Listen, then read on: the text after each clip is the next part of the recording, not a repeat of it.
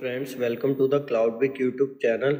In this quick video, we will learn how to add Microsoft 365 email into iPhone.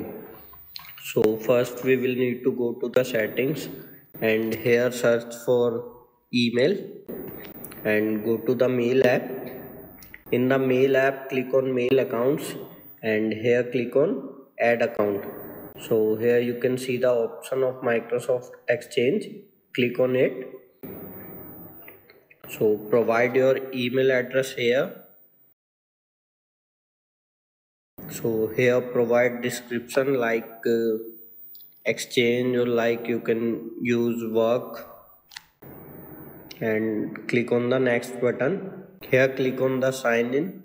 Here provide your password. And click on the sign in button.